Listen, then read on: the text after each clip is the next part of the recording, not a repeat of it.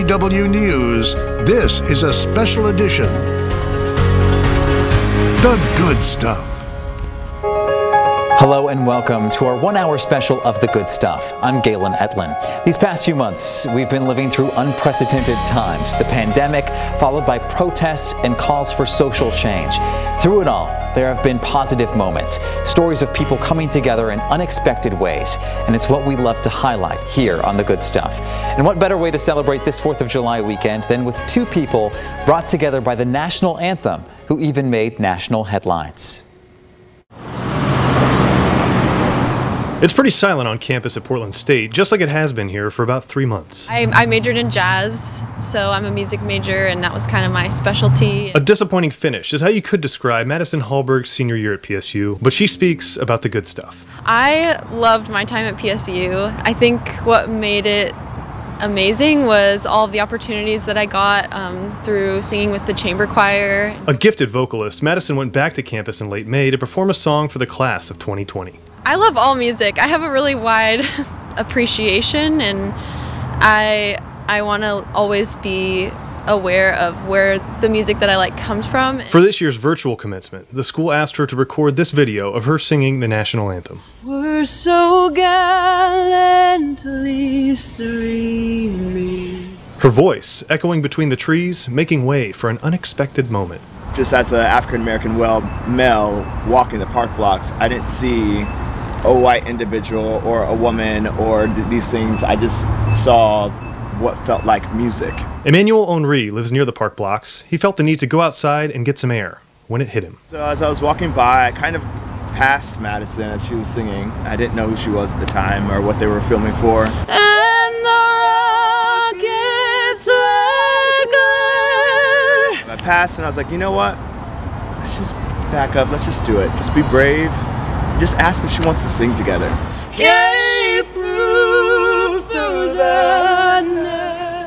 Henri is a professional opera singer and has performed all over the world. He understands how versatile a voice can be. It heals and it something connects. Like as a white person, it felt so right singing it with you more than by myself. Two artists from different backgrounds joining voices. It is the same instrument with the same amount of love, joy, healing, and peace that comes along with that. And the way that we use that gift is empowering and it washes over others. It changes their lives exponentially. That our flag was still there. It's a song with a message that sounds so different to so many, but these days, for these two, it's not about what you hear, it's how you listen. And listen to what they're doing with their voice and adapt to that and don't try to outsing the person next to you, but listen to them. And that applies to all of life. Uh, make sure you listen louder than you speak. Whether you've worked hard on your voice like Henri and Madison, or you're just discovering it, whatever you do, don't keep it silent. Uh, when we kind of let our voices pour out, there's no stopping us. And the home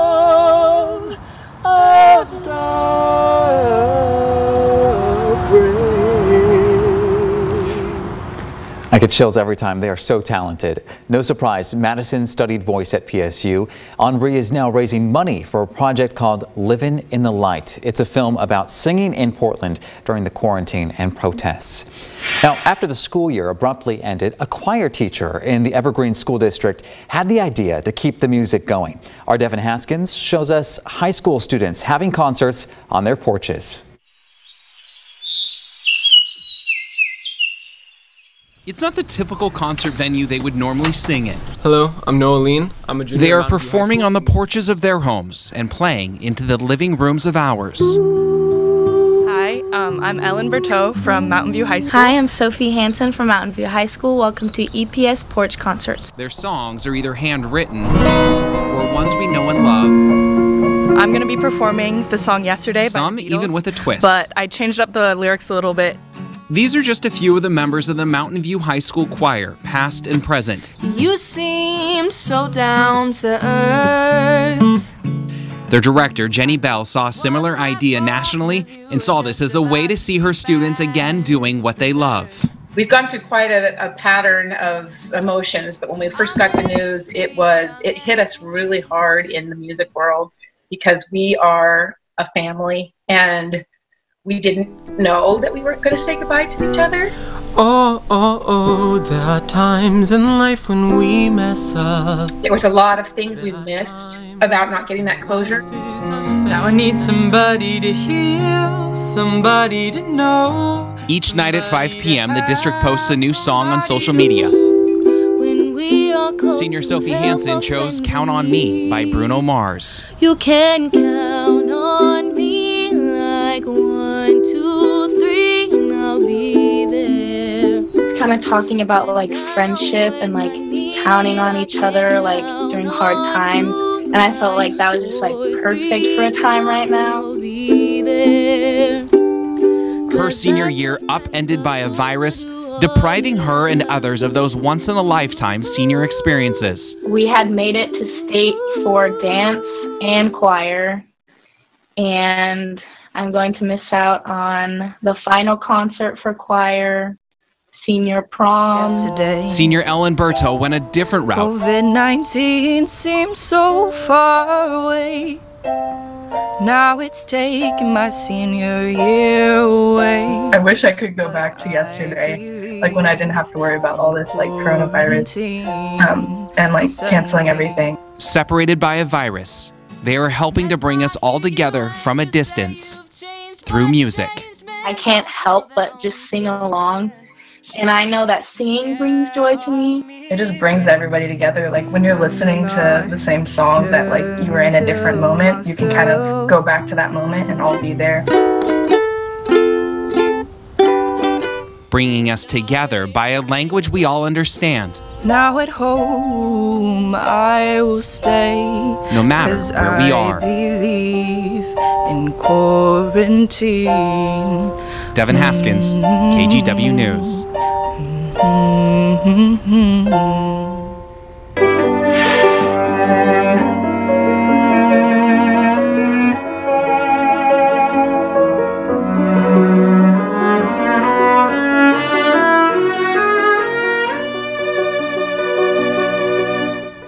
Sticking with some more good music now, around the world, musicians have brought comfort and peace through virtual concerts.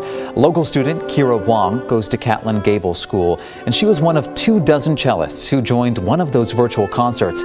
Each played a passage from The Swan. these times are very difficult right now, and it was a big goal to be able to um, serve as some comfort using the skills that we have as musicians. Last year, Kira was selected to play with the Portland Youth Philharmonic at Arlene Schnitzer Concert Hall. And there's even more good music from some of Portland's most talented artists still connecting with fans during the pandemic.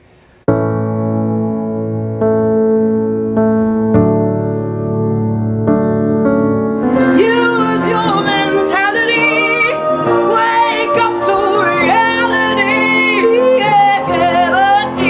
I just want to uh, use my audience. I have quite a good sized online audience to um, to help out the folks that just don't have uh, a safety net.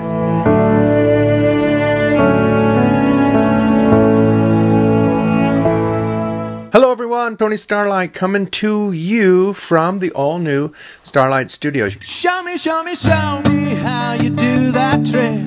The one that makes me scream, she said. The one that makes me laugh, she said. Threw her arms around my neck.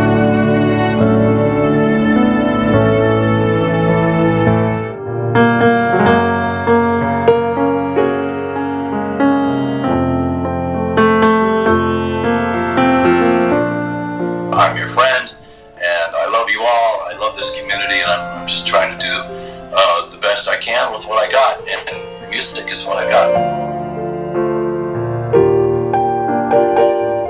We so appreciate them sharing that with us. Still to come here on The Good Stuff, Portland Trailblazer CJ McCollum gets into the wine business.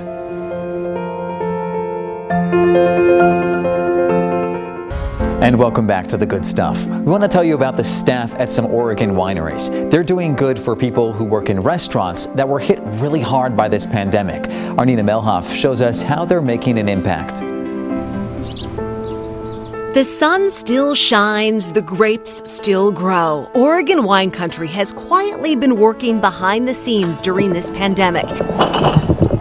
Able to open in phase one almost a month ago now, it's been time enough for Brooks Winery in Amity to formulate a plan. We have reservations available online, and it's going to be all reservation only, which is new for us. We used to just be walk in. As you can see, we've spaced the tables so that every party is six plus feet apart. All of our servers are going to be wearing masks. We have um, rigorous cleaning standards. I know that we've taken the time to make sure that we're going to keep those people safe too. So I, I'm going to be happy that we're going to have people back. I really enjoy enjoy being around our customers.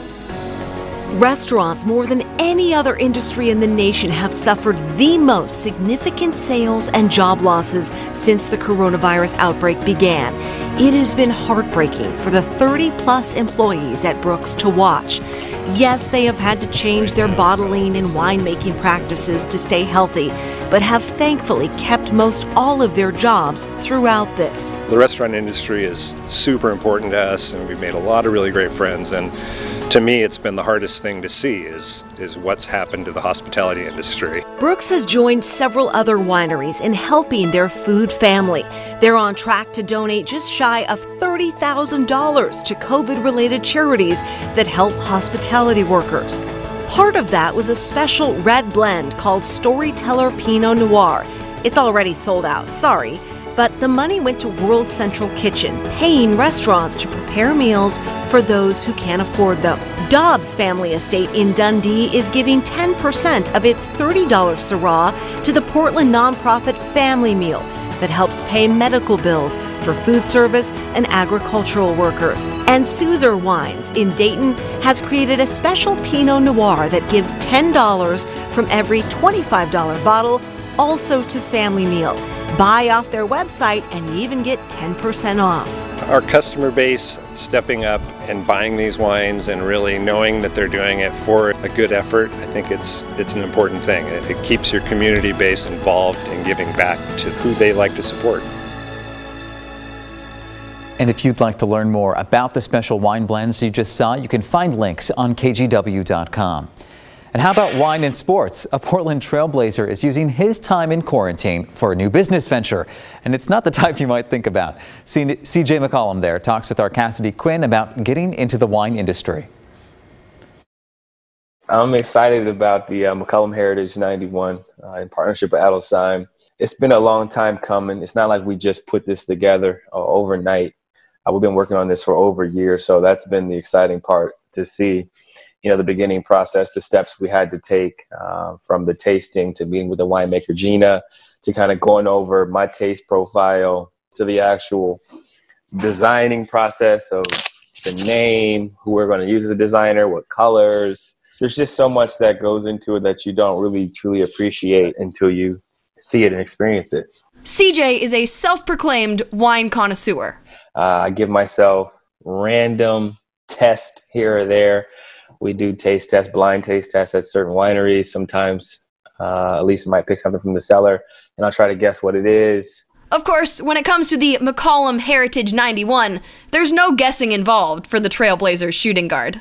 First and foremost, I would say that it tastes marvelous, and this is no bias. That's what people have told me. It's smooth. It's got the the berry taste, more specifically the cherry taste. There's a little bit of earthy tones to it, but I, I truly do enjoy it. I think it pairs well with a lot of things because it's so smooth. It's light on the body, and uh, historically, uh, after drinking the McCollum Heritage 91, there's been no hangover, which is very, very vital and important during these quarantine days if you want to make it to your workout on time. Will you be bringing it to Disney World to share with all of your NBA. Everyone gets their own bottle, COVID, you know, but. no, I won't be giving out 300 bottles, but I have a list of, of select people that I will share with that I will make sure they're gifted. Are you thinking it will fuel people's quarantines and help people feel better right now, maybe a little bit? It can't hurt, honestly. If you want to try the McCollum Heritage 91, which, by the way, is named after the street CJ grew up on and the year he was born, you have to wait until September. Uh, great things happen in September. and with that being said, I hope everybody's quarantine is going as well as it can be. All right, now we take you to Northeast Portland, where a food cart owner is showing support for Black Lives Matter protesters through food. Devin Haskins spoke with the owner of Keys Loaded Kitchen. If you want a full meal, Keys Loaded Kitchen has got you covered. The food cart serves large portions of comfort food. I wanted to get something that I couldn't go get, which is a big plate of food that includes dessert and a drink and fresh baked bread. Like I want to have all that every time I eat. The pandemic hasn't slowed down business for her, and the protests have kept her even busier. Right now, we're doing uh, feeding uh, Black Portland. The end of May, Kiana Nelson received a donation from activist and former mayor candidate Teressa Raiford. The money donated helped cover a meal for 40 black protesters. A typical meal costs around $25 and can feed a family. Once we had that happen, then we had people from the community start to donate. Money started pouring in. Kiana was busier than ever making food. Feeding Black Portland began to include everyone. So I decided that it would be for all protesters, black, white, you know, any whatever whatever religion or creed you are. Um, so it's for everyone. On Fridays and Saturdays starting at 1, lines now stretch around the block and beyond. Now the line is up to honestly it's four blocks long. But with the donations that we are receiving, the food is lasting much, much longer. Uh, it used to last about two or three hours. I'm in there right now, five, almost six hours. So we're producing a lot, lot more food, and it's it's pretty tough, but it, it's, it's it's beautiful. It's worth it. Kiana says this is about giving food, giving love and comfort so the ones marching can keep going. And for another restaurant in Clackamas County, it's about free pizza for kids and helping families who need a little help making ends meet. Steve Redlin takes us there. You've seen how the coronavirus pandemic threat has touched, well, everything in our lives, especially what businesses are closed and which ones are open. I'm Steve Lights, and I've owned the Pizza Schmizza here for a year and a half. Steve closed his pizza store for a few days and then realized people still need to eat. First, I panicked. And he needs to earn some income. Within a week, I realized that all you have to do is just make a few adjustments, and things are going to come around. He thought kids living around his store are a long ways away from the school lunches they normally get. And he thought that free pizza lunches for kids at his Pizza Schmizza on Southeast 82nd near Johnson Creek Boulevard would help. We're up to about 1,400. I've had four at home. I have. I have three school age children. So all these kids in this area have to go a long ways in order to get their lunch. And so it's that way, well, you know, it's about somebody's got to step up and somebody's got to take care of the of the uh, problems. At first, his employees wondered if this is a good time for free anything. But seeing the benefits in those well-fed faces makes all the difference. Definitely helps on the the food budget and you know sometimes we just get tired of eating what's at home so we can come out and grab something that's a little different. Other businesses and Pizza Schmizza Corporate are donating to make the free lunches for school-age kids. And we've let other families know as well and they've also taken advantage of it and been able to get some pizza for their kids. We want to make sure that that that the kids in the neighborhood are taken care of. And we do first responders. Um, first responders get two slices and a uh, and a drink. Yeah, over a hundred. Schools are in the summer break now, but Steve is extending the free lunch program through the summer. Really, guys? Thank you guys. Pepperoni. Nice. I was surprised that we were able to come in and eat. That was very nice. Come out to our little pizza party and uh, come on, get a slice of pizza. And GoFundMe and Facebook fundraising events are helping to fund the lunches. Part of my business model through everything has been to elevate my community. Steve hopes that kids catch on to the good feelings a good lunch can make. Community strong. An Oregon company is out with a new chip, and to celebrate, they're donating potatoes to feed families. Spud Love Snacks comes from Three Mile Canyon Farms in Boardman. Each week, the company plans to donate potatoes to the nonprofit Farmers Ending Hunger. The Oregon Food Bank will then give them out. We appreciate Lisa Hill for letting us know about that story. And here's a show of gratitude for people on the front lines. Hospital staff around Oregon got a sweet treat. Ice cream company Rethink donated more than 100,000 ice cream cups to healthcare workers in Portland, Springfield, and Eugene. Let us know about the good businesses, good people, and good deeds happening in your neighborhood. You can text photos and stories to 503 226 5088 or send an email to thegoodstuff at kgw.com. We'll be right back with more after this.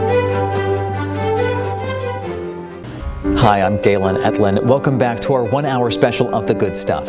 Tonight, we're highlighting the good deeds and good people in our communities. And that includes this Beaverton girl. She's not even in high school yet, but she's quite the entrepreneur. How she went from scrunchies to face masks. And later, we'll share good moments from graduation season. An alumni group at St. Mary's Academy found a personalized way to honor the class of 2020. But first, check out this unexpected reunion at a Portland protest. A demonstrator recognized a police officer, a mentor he hadn't seen in 13 years. John Goodwin meets the young man changed by that experience. A soft afternoon drizzle replaced the nightly tensions at the Justice Center on Friday. I started coming out here, and from the very first night I was out here, like seeing so many different people hurting, uh, expressing themselves through their voices, through their signs. Tiki Taru McCollum Jr. is a local DJ. Thanks for bringing me out.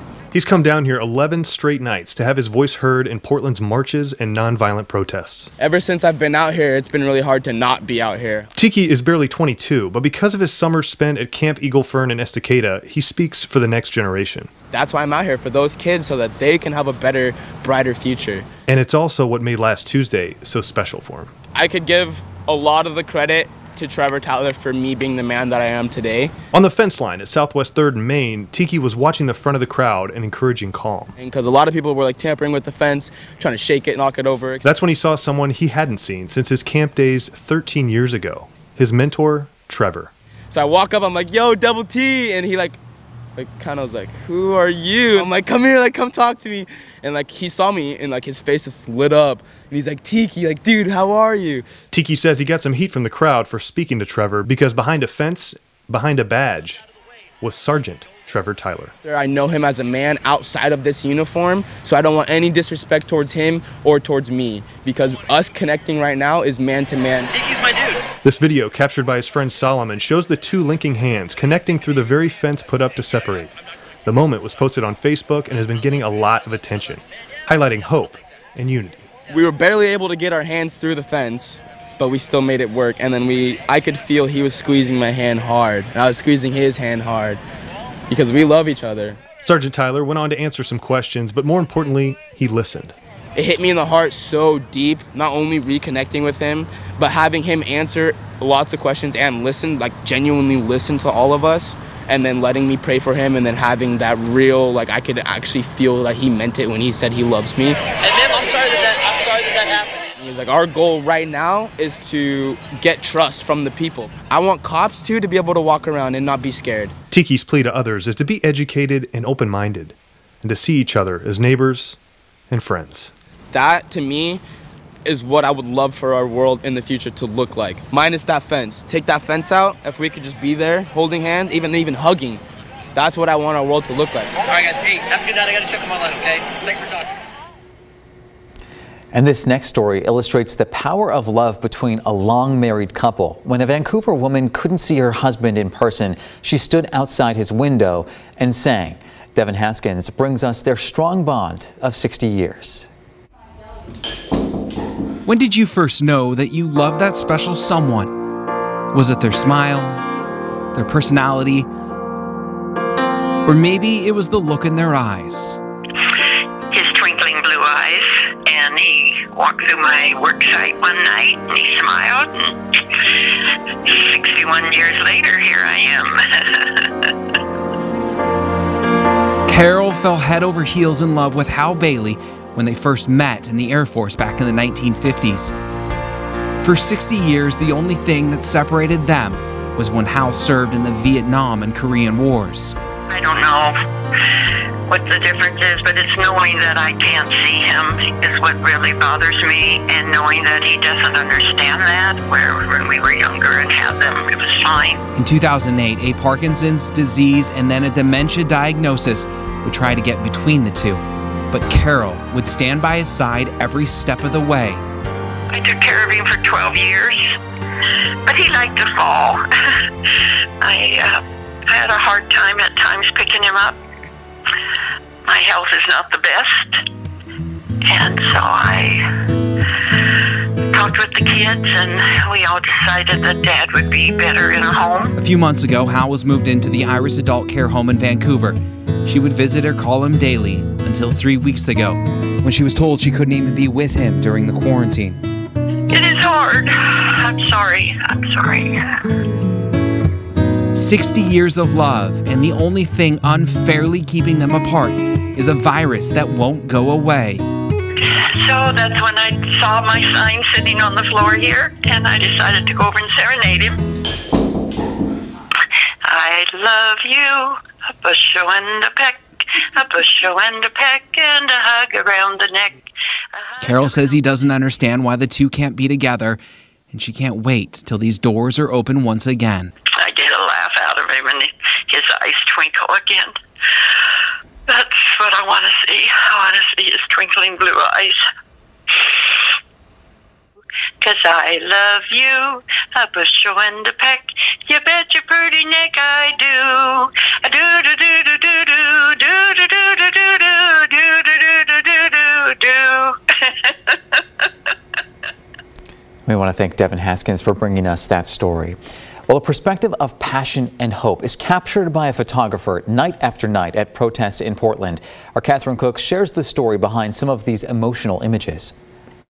Can I get a picture of your sign? They say a picture is worth a thousand words. Thank you. Honestly, right now, pictures are worth a million words. Just look through Mariah Harris's lens. Try to capture the, the strength and the pain and the and the love and everything that they're feeling. They are the people who, for days, have gathered in Portland's parks, streets, and on bridges to say Black Lives Matter and demand social justice. People who have gotten out of their wheelchairs to lay on the ground, like there's certain things that people are doing, and it's just like, wow, I cannot believe you're doing that for the cause. And I just want to be able to capture that. For Mariah, photography has long been an artistic outlet that blossomed into a side job. She started Moments by Mariah and captures a lot of family life milestones. She never imagined capturing a historical one. A lot of history has not ever been told through our eye or our lens, and to be able to capture that as a black woman and show it my people, it I feel honored to do so. Mariah posts her photos on Instagram and loves when people find meaning in them. In this picture, the crowd is singing happy birthday to Breonna Taylor, a black woman killed by Louisville police officers. Mariah spoke with the woman in the center of the photo. She said she's never felt so much pain and love in the same moment. And the tears in her eyes just spoke to me, even though I couldn't see her whole face. You can just read it as she's holding her phone. And I cry every single time I see the image. Like it, it is, it got to my heart. The kind of images she hopes will transport people back to this place, both now. This movement, it's powerful. And in years to come. Now, with many businesses still boarded up because of the protests, new artwork continues to show up in downtown Portland. Photojournalist Chad DeHart has the story behind one of the newest murals. My name is Nathan Jackson. I've been an artist since I was four years old. Got 36 different colors. Beautiful colors.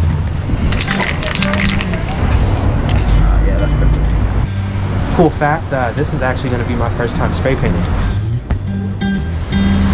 I thought about the kids. I thought about the kids in their future. Because this right now is all for the future. Oh yeah, I like that. Yeah. Another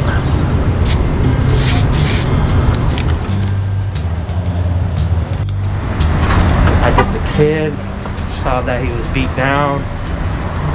Just showed some emotion and added a glove on there, a boxing glove, to uh, to express just to keep fighting.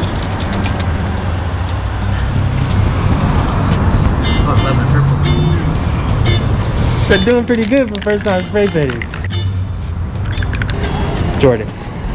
Jordans. Jordan ones, just like these. I didn't practice or anything at all, I just I kind of like to learn on the spot.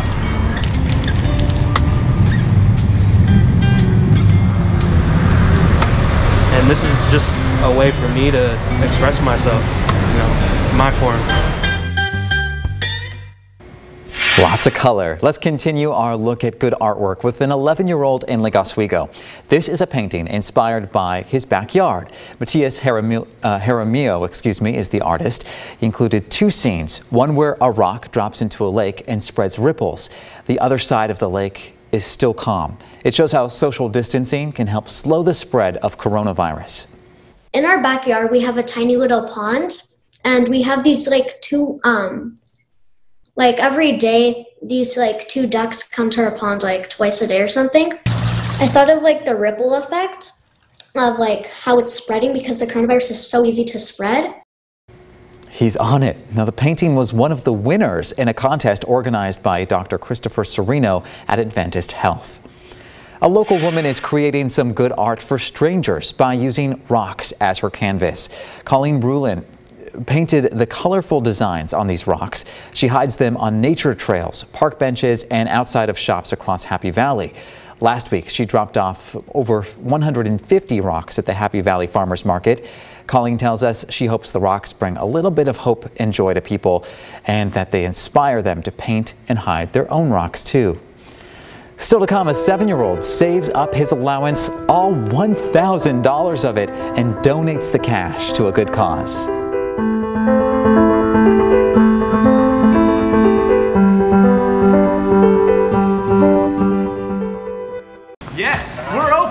Yes, we're open. Yes, we're open. At Brainless Tees, we'll hook you up with masks and we can customize them too. Never apologize for being awesome! Hi, I'm Susan from the Fossil Cartel, and we are open. Hi, folks. This is Jesse from the Viewpoint on Springwater, and yes, we're open for takeout. Aloha, we are Bamboo Grove Hawaiian Grill, and yes, we are open.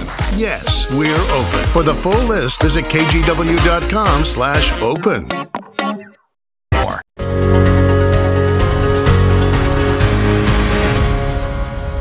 Let's recognize the good work of a young girl in Beaverton. She already had her own business, then figured out a way to use it to help others during the pandemic.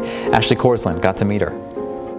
You probably wonder what all these fabrics are on the um, table for. At just 10 years old, Gianna Harris is leaving her mark on the world. Hi, Sketchy Bunchies! The fourth grade entrepreneur started her own business last year, Gigi's Scrunchies. Mom Anna taught her how to sew. But I wanted to teach her so that in the event that she wanted to do something, she knew she was able to hand make it herself, or at least attempt to, right? And be creative. So one day we went to Joann's and bought some fabric, and um, my first ever one, I hand sewed it, so I didn't have a machine or anything like that.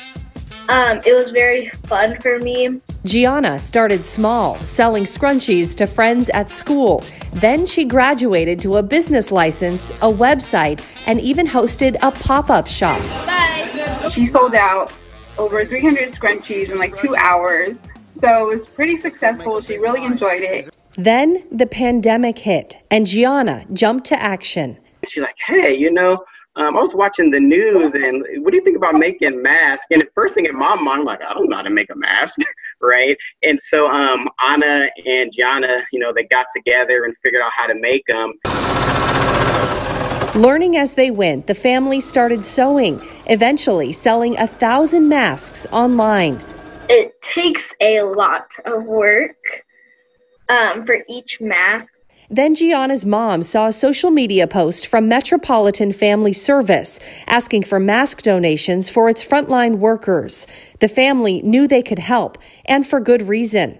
MFS serves thousands of local families in need with things like food and after school activities. We serve over 36,000 uh, people in the Portland area. One of those families is Gianna's.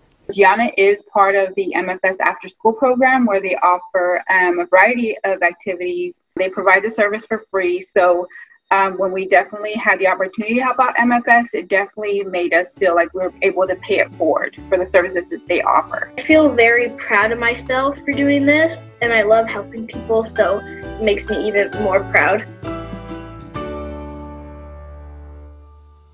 Go Gianna, that's so awesome. Thanks to Ashley Korslien for sharing that story.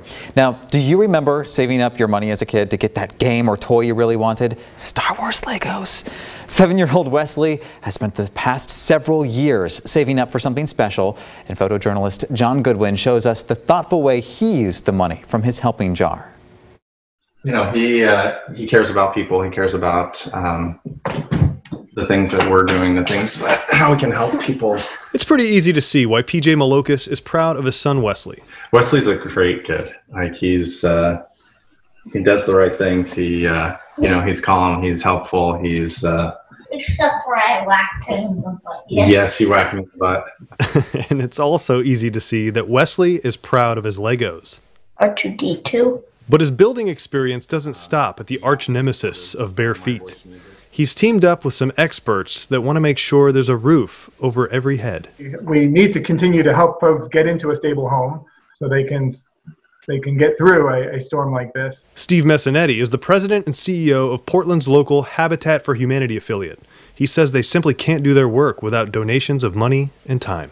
These are homes for families that don't have a good place to shelter right now, as we all shelter in place. And many of them are, are frontline workers in healthcare and um, grocery stores and nursing homes. Housing is um, something that is critical for everybody, and in in this moment, we thought it was really, really important, and we wanted to take the time and sort of help instill a sense of community and service with Wesley, and um, you know, hopefully, we can inspire some others to do the same thing. Wesley may not be building houses, but with the help of his parents, what he saved will help make a big impact for others. Hi, I'm Wesley.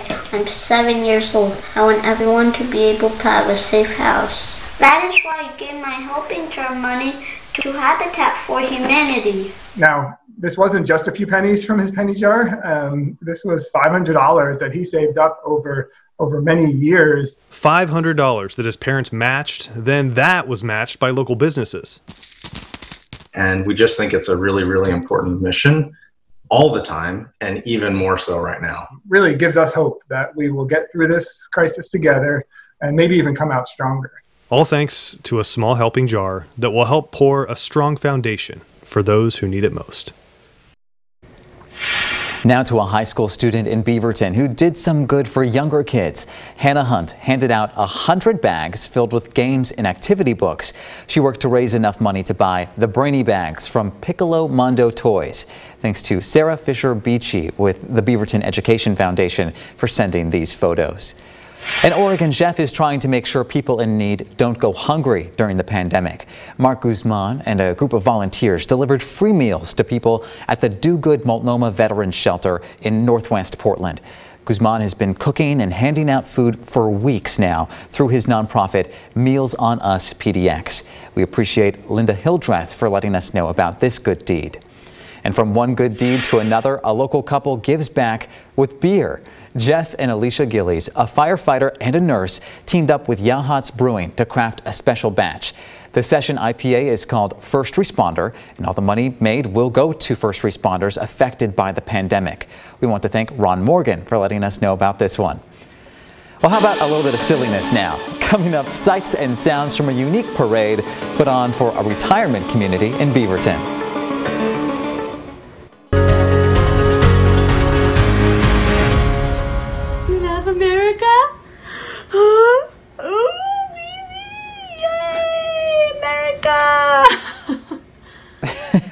In the spirit of 4th of July weekend, we just had to share that adorable video with you.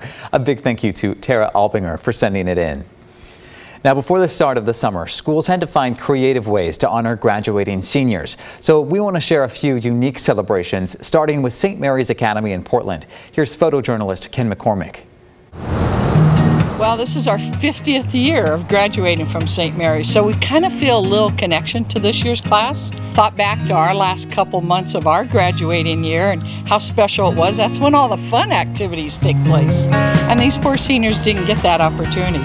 They knew their caps and gowns were coming, but the signs were a surprise. On behalf of the 1970 graduating class of St. Mary's, we present you this Thank you. congratulations yard sign. I'm Terry Mariani, a proud graduate of St. Mary's Academy from the class of 1970. We also have delivered your diploma and your cap and gown. Thank you so much. I was sitting in my dining room looking out at a political sign and thinking, let's do something like that. And that's kind of how the project got started. I'm Flora Satina, and I'm a graduate of St. Mary's Academy from the class of 2020. So it was just kind of like a nice package, like even though we're all separated, they're still like making an effort to try and connect with us and show us like, you know, we still want to give you things and show that, you know, even though everything is really crazy right now, we're like recognizing you as a graduate and everything that you've done. Our class wanted to deliver, personally deliver, each of the signs to this year's graduating class. 142 graduating seniors that we delivered signs to. We had plenty of drivers and it was it was just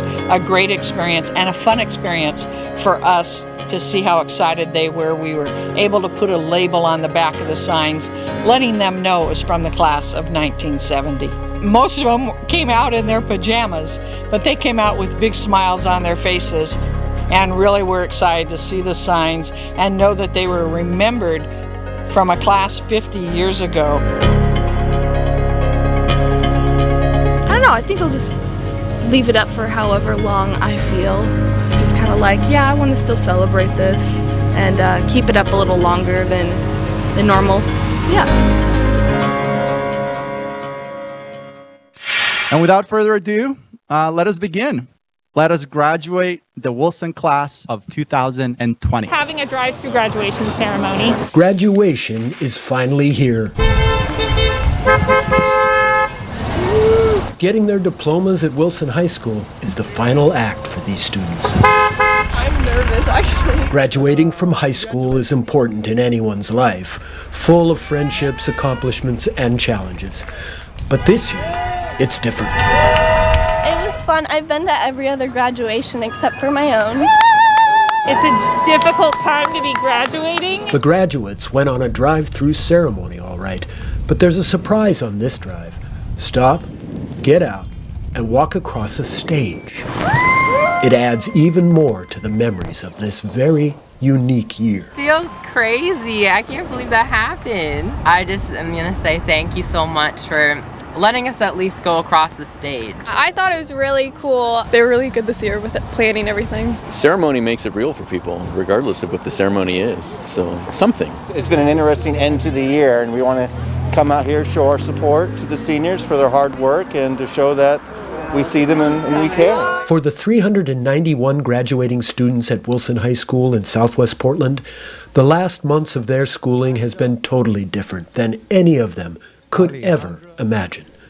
Their senior year is over remotely. It just kind of was assumed that graduation wouldn't truly happen. Originally, we were maybe going to have a commencement in August, but it's nice to just have it over now and get closure. Plus, at a nationwide protest. I'm actually going to a protest later in the day today. I'm hopefully going to wear this outfit to um, to show that I'm a graduate. Um, and I'm for the movement. I honestly was just focused on not falling. And there is no way that this year can be forgotten. And it's unique. No one will ever have this experience, right? This exact. Yeah. Congratulations! 58 seniors this year. One thing that the 2020 graduating seniors end their year with is that they've got more memories and greater hopes for the future. Very proud. He is almost all A. It feels awesome. I'm really happy about today.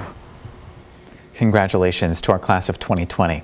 Now, sometimes good moments come out of a little bit of silliness, right? Photojournalist Kurt Austin takes us to a special show meant to bring some smiles to residents of a Beaverton assisted living facility. I love you and don't you forget it. I love you and don't you forget it. I love we just miss our residents and we want to let them know we love them. They are not forgotten. My name is Brinna Hurwitz, and I teach yoga and therapeutic dance at facilities as well as yoga for PD. We've been locked down for a long time. Even though they've been on lockdown, it's been really trying for them and for us too. just keeping my social distancing. My name is Barbara Lumen, and I live here. It just makes me so sad to think of so many of them unable to come out, unable to see family, unable to be hugged. And I'm just hoping to bring a smile to their faces and let them know they are not forgotten. Forget it, I love you, and don't you forget it, baby. I'm in for this. And the exciting part is we're going to do a parade. A loud, noisy parade around a whole building so everyone can see us. I've got the wave. Just T for two and two for tears. So I've been a performer and dancer all my life, and this is who I want to work with now. I really love, love working with this appreciative population. I think it's wonderful. It brightens our day. It's given us something to be happy about. All these signs are for you, right? The second part is like a happening where simultaneously we're at different spots around the building. Let's put some entertainment on the outside and let people view it from a distance. We have Jeffrey the dog. This is Jeffrey, and I'm Tim.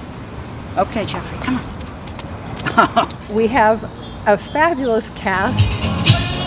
LaRue and Sue and Laura Lou, who went to clown college.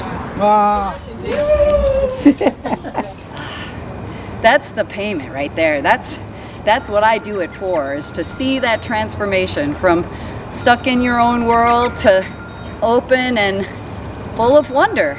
Oh, hello. Thank you for putting up the thank you signs. I'm happy, really happy to make them happy. Good boy. Jeffrey likes it. He loves coming here because my wife's parents stay here. The world is an amazing place even when things are crappy. Brightens our day. I love you. Can't you see how happy we I'll see you soon. We I definitely, love you. We definitely hope you can see them soon. Now, we could all use a little laughter right now, and a Portland family's Instagram does just the trick. Devin Haskins takes us to Portland's Ministry of Silly Walks. It's remarkable how this little sign on a quiet street can bring out the funny in people. It's fun when you see one person by themselves doing it, but uh, yeah, we get quite a few. Welcome to the Ministry of Silly Walks in the Hillsdale area of Portland. Like everyone, I've had a little little extra time on my hands. It's it's been a fun thing to do with my my kid. I have a seven year old.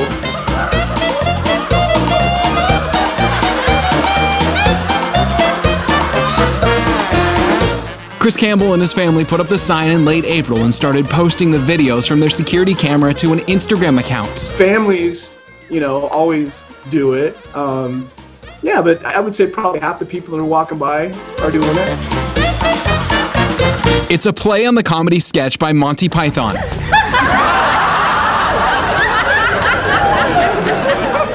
been a long time since I've seen, uh, you know, a lot of the Monty Python stuff, but you know, certainly remember the Ministry of Silly Walks.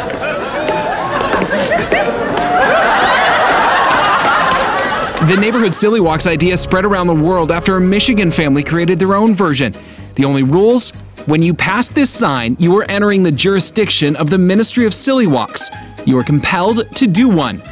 What that is, is up to you. I think my favorite was, you know, there was this cute family that was uh, playing tag back and forth.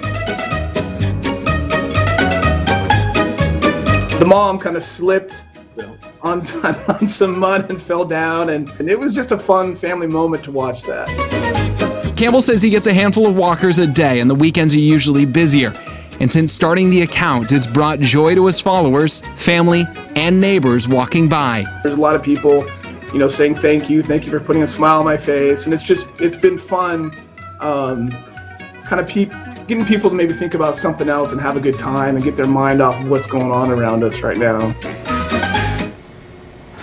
And thanks to Devin Haskins for sharing that story as well.